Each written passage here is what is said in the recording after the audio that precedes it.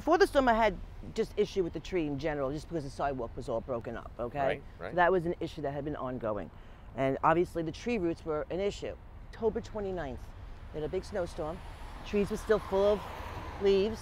The snow took the tree over in that direction. The tree took my water pipe up.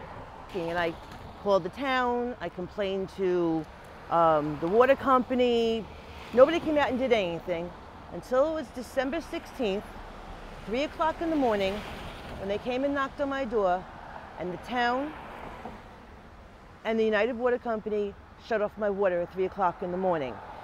They shut off my water because the water now was no longer water, but it was ice.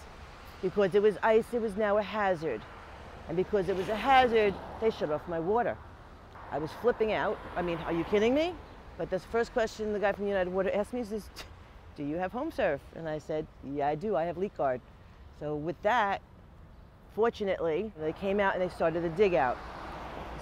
Tremendous guys that you sent out to my house, a crew of like three guys, started to dig out from where the tree was. Now the tree was still here.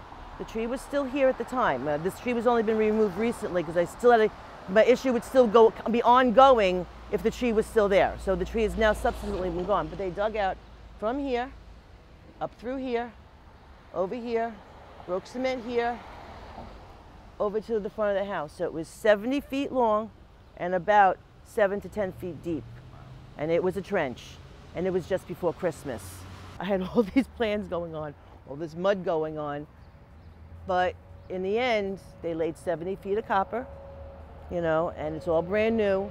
And if I didn't have HomeServe, I wouldn't have been able to afford that. I'm a single mom. I got teenagers in my house. Water issue was huge.